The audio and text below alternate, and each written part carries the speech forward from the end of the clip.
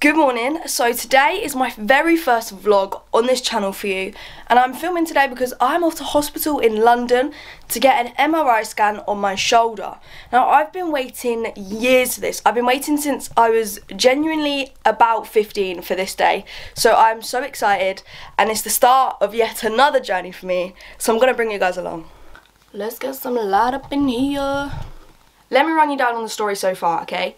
It all starts when my Ehlers Danlos story starts, which was my last video, so I'll link that below for you.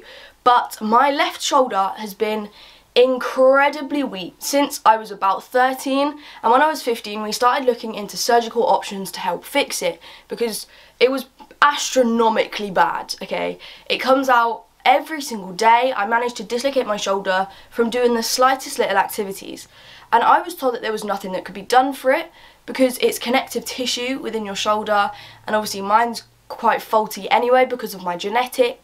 So with me, they have decided to give a procedure a go called the Latarjet procedure, I believe, and they are able to put, I believe it's a whole piece of bone in front of your shoulder to stop it pushing forwards.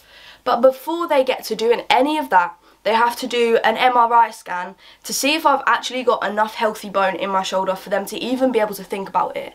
So today is my first step on this journey that I've been waiting for for so many years and I'm so excited but I am also a bit nervous because hospitals are not my favourite place and especially when it comes to my shoulder I've never had much luck but today's going to be different and we're going to have such a good day. Let's go. I've literally just had a text off of my little brother saying that my dad's car won't start, which is less than ideal because obviously I need to drive to London. Well, he needs to drive me to London because I can't drive yet.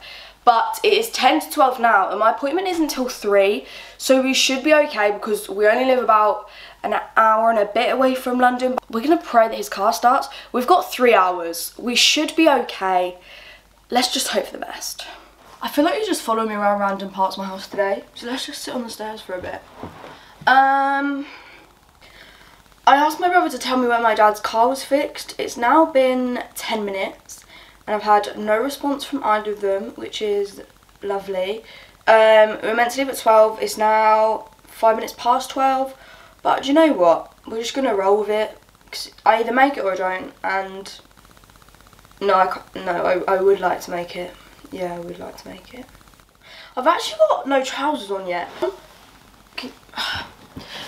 I've got Nike Pro shorts on because um, because my joggers that have no metal on them are at my dad's house and if I can wear joggers with no metal on them then I don't have to wear the hospital gown which is kind of my goal for the day because I'm not a fan of hospital gowns. Oh my god actually the last hospital gown I had when I came back from A&E I was wearing it and um, we changed it into a Halloween costume. Let me find this for you on Insta. When I see you makes me smile. Oh my god, my brother just texted me. His car started. Yeah. Goodness me, I hate myself. That is me and my housemates on Halloween. That is me in my hospital gown. I'll probably insert the picture because that was awful. I'm out of breath. I live on a three-story house and I've just run all the way upstairs to run all the way back downstairs to get these joggers because the plan was I was going to go to my dad's house to pick up some joggers to wear with no metal on them so I didn't have to wear the hospital gown. But we might not have time for that now. So I've had to get these, which are my just basic Adidas three stripe joggers, but they do have metal on them. So I might have to accept my fate and go for the gown.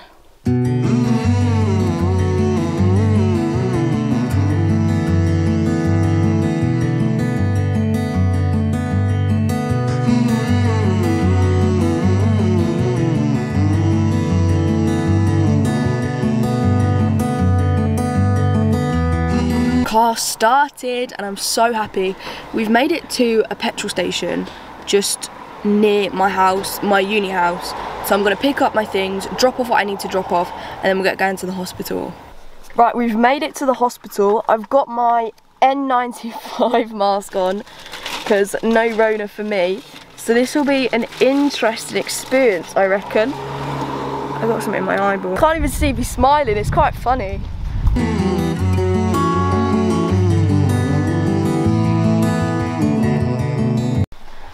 First stop is CT and interventional suite to get the dye put in my shoulder, and then after that we've got the MRI scan. Dead on time.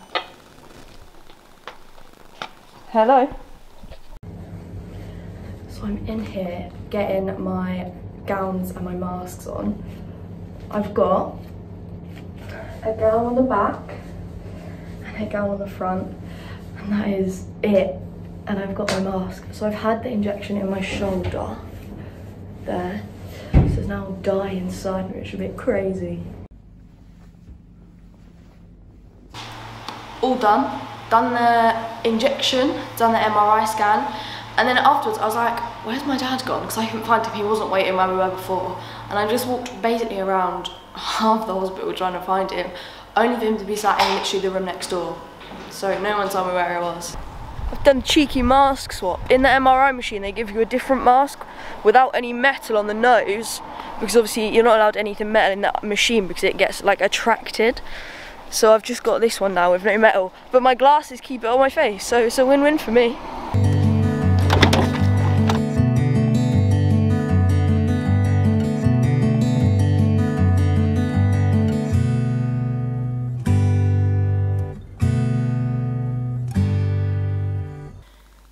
Is about quarter to nine now, and I must have got back from hospital at like six, maybe seven at the latest.